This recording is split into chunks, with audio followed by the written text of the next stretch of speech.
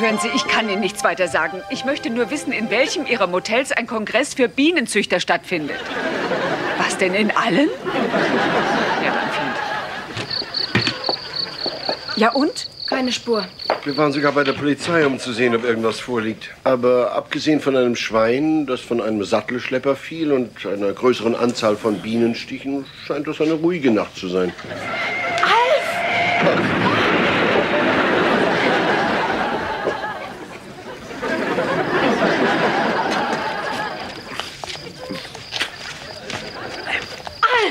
Alf, bist du verletzt?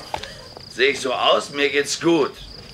Aber dieses Telefon ist der letzte Schund. Ich muss mit Joel darüber sprechen, wenn er aus Springs zurück ist. Vergiss das Telefon, vergiss Joel. Ich stelle fest, du hast unsere Garage ruiniert. Und zwar, wenn ich das erwähnen darf, jetzt schon das zweite Mal. Bedauere ich sehr. Willi, also ganz ehrlich. Ich glaube, ich brauche eine Brille. Eine Brille? Weißt du, was du brauchst? Du brauchst einen Anwalt! Bitte, Willi, beruhige dich doch. Dann sage ich dir in aller Ruhe, dass es unverantwortlich von dir ist, mit dem Auto einfach durch die Gegend zu fahren. Dabei dein Leben und das Leben anderer zu gefährden und uns in Aufregung zu versetzen. Und solche und ähnliche Dinge wiederholen sich immer und immer wieder. Aber wir hatten auch lustige Zeiten, sagt es ihm Kay. Ja, wir hatten auch lustige Zeiten, sehr lustige Zeiten sogar. Aber das hier gehört nicht dazu. Nur was du angerichtet hast. Schon gut, komm wieder runter. Mach dir keine Sorgen, Willi. Ich werde alles bezahlen. Und wie stellst du dir die Bezahlung vor? Naja, ich werde Joel morgen anrufen, werde das Auto wieder verkaufen und dann nehmen wir das Geld und lassen die Garage reparieren. Tust du das auch? Wirst du Joel anrufen? Genau genommen Joels Assistenten. Denn wie ich bekanntlich schon sagte, Joel ist in Palm Springs. Das klingt doch vernünftig, nicht wahr, Willi? Ich glaube schon. Es ist wahrscheinlich das Beste.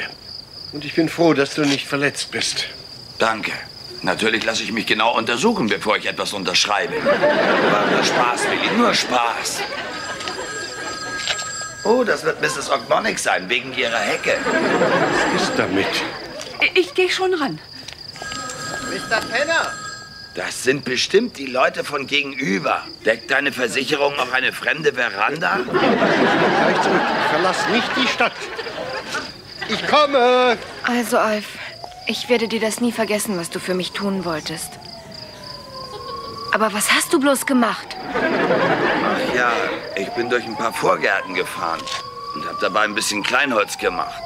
Der Rest ist verschwommen. Ich sehe mal lieber nach, ob ich irgendwas für dich tun kann.